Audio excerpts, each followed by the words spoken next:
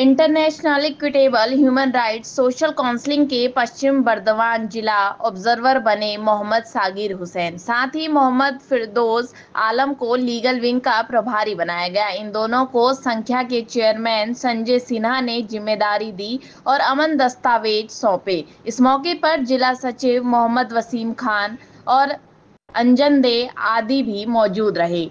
दोनों ने संस्था से जुड़कर खुशी जताई। चेयरमैन संजय सिन्हा ने भी हमारे प्रतिनिधि की बात की। आसनसोल से वसीम खान की रिपोर्ट। जो है संस्था से आप जुड़े हैं ह्यूमन राइट्स काउंसिल से।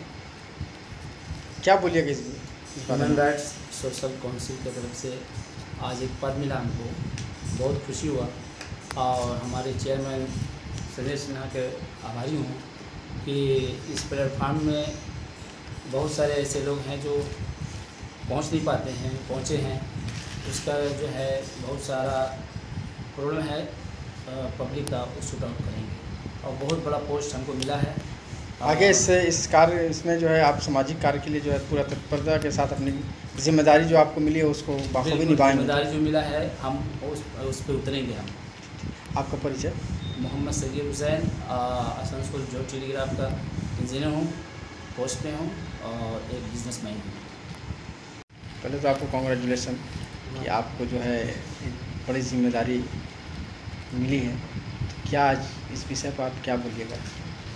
आज एक परिवार का हिस्सा बना हूँ मैं जो बन के बहुत खुशी हुआ मुझे कि इन फ्यूचर किसी को भी जस्टिस के मामले में या किसी तरह का प्रॉब्लम हो, उसके लिए हम हमेशा तैयार रहेंगे और इसको और आगे बढ़ाना भी है। और जो लोग मैंने इधर उधर भटके हुए उसको सही रास्ते पे भी लाना है। कभी कभी देखा जाता है कि कुछ जो ज़रूरत जो आम जनता होती हैं, उनको कानूनी दो पेच में जो है, कभी फंस जाते हैं या उनको उनको नॉलेज उतना नहीं होता है, जिसके लिए वो बहुत परेशान हो जाते हैं।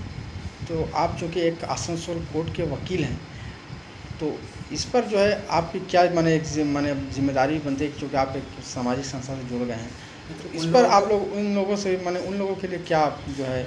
उन लोगों को बुलाया जाएगा अपने चेम्बर में बुलाऊँगा मैं।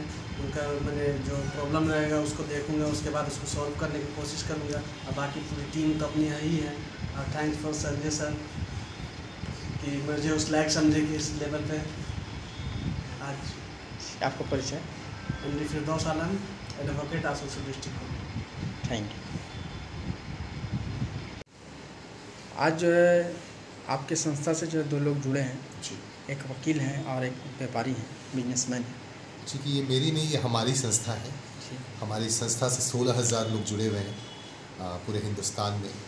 और हमारी कोशिश ये है कि हर जगह लोग रहें अपने और एक दूसरे के सपोर्ट में हम हमेशा खड़े रहें। हमारा परिवार इतना बड़ा हो कि हमारे परिवार पे कभी कोई आँच भी आए तो तुरंत उसको ताउन मिले तुरंत मदद मिले या तो लीगली मदद मिले या दूसरी तरह का कोई भी ताउन मिले। हमारा हम चेंबर की तरह एक विंग बना रहे हैं ट्रेड विंग ट्रेड विंग हमारा जितने भी बिजनेसमैन हैं मुंबई में दिल्ली में हमारा स्टार्ट हो चुका है। हम पगड़ी बंगाल में भी इंशाल्लाह बहुत शुरुआत जल्दी शुरुआत किस किस तरह के जो है काम हम एक चेंबर की तरह काम करना चाहते हैं जो बिजनेसमैन की जो समस्याएँ मसाइल्स हैं उनके।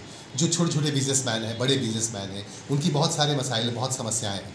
उन समस्याओं को हम दूर करना चाहेंगे। हमारी टीम हमारे जो लोग रहेंगे ज़िम्मेदारी के साथ वो उनको हेल्प करेंगे उनको ठीक करेंगे हम मिलेंगे उनसे रिलेटेड जो ऑफिसर्स आपकी संस्था ये जो है कहाँ कहाँ किस किस जगह पर जो है ये जो है? जी हम हमारा अदारा जो है दिल्ली से हमने शुरुआत की थी और दिल्ली चूँकि मरकज़ है और यूपी में हमारे बहुत सारे लोग हैं एमपी में है उत्तराखंड में है और अभी साउथ के भी कई सूबों में हमारे लोग जुड़ रहे हैं, हमारी टीम बन रही है तमिलनाडु में, आंध्र प्रदेश में तेलंगाना में भी लोग जुड़ रहे हैं। तो बहुत तेज़ी से हम आगे बढ़ रहे हैं और हमारा ये टारगेट है कि 2025 में जब हम अपना दूसरा ये मनाएँगे, अपना एनिवर्सरी मनाएँगे, तब तक एक लाख हमारा मेंबर होगा। मालदीव में भी हमारा ऑफ़िस होने जा रहा है, दुबई में भी बात चल रही है। तो हमारी ये कोशिश है कि हम इंटरनेशनली इस संस्था को लेके काम करें और दूसरों की मदद करें। परिचय? Sanjay Sinha chairman international equitable human rights social council धन्यवाद।